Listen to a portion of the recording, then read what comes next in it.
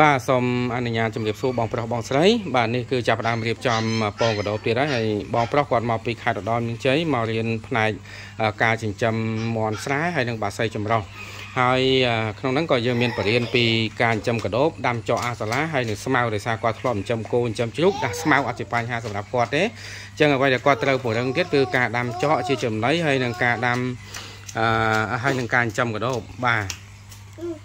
បាទនេះរៀបចំពងកដោបទៅទៀតហើយពុកម៉ែបងប្អូនណាមួយគីឡូនេះរៀបឲ្យផ្ញើទៅវឹងតែម្ដងណាសឹងតែអត់គ្រាន់ទេព្រោះទិញ2ថែមមួយកាំទិញ2ខាំថែមមួយខាំទិញ2ខាំថែមមួយកាំបាទហើយមានខ្លះខ្ញុំនៅជពាក់គាត់មួយខាំផ្ញើជូនវិញ បាទនៅក្នុងនឹងផងដែរបាទនេះយើងរៀបចំនេះទីតាំងកសិដ្ឋាន400បងប្អូននេះគឺកន្លែងបដោះបដាលហើយ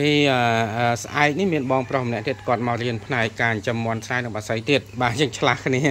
បងប្រុសគាត់ចប់ស្អែកបាទមានបងម្នាក់ទៀតគាត់មកស្អែកចឹងតគ្នាបាទនេះរូបខ្ញុំផ្ទាល់បាទហើយនេះថ្ងៃកំណើតរបស់កសិដ្ឋាន100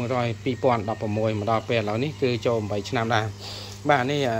ផេកកសិដ្ឋាន website របស់កសិដ្ឋានឈ្មោះផេកអីនៅក្នុងនោះអស់ពុកម៉ែបងប្អូននេះទីតាំងកសិដ្ឋាន400ផ្ទាល់បាទហើយនេះពងរៀបចំវិខ្ចប់ពងកដោបហើយហើយទីទៀតយើងនឹងរៀបចំទៅជាមួយស្មៅបងខ្លះគាត់យកពងកដោបមួយខាំយើងថែមស្មៅឲ្យ100កង់ហើយបងខ្លះគាត់ទិញ2ខាំថែមមួយខាំជួនកាលគាត់សុំស្មៅខ្លះអញ្ចឹងយើងរៀបចំជូនគាត់ណាបាទហើយនេះក្រុមការងារដឹកជញ្ជូនទីទៀតគាត់នឹងជួយដឹកទៅកាន់ក្រុមហ៊ុនព្រះបន្តានបាទ ចឹងខាងនេះគឺខ្លោងទ្វាចូលបាទដោយជំរាបជូនពុកម៉ែបងប្អូនអញ្ចឹងណាបាទហើយអរគុណច្រើនណាពុកម៉ែបងប្អូនជួបគ្នានៅវីដេអូបន្តបន្តទៀតបាទអរគុណ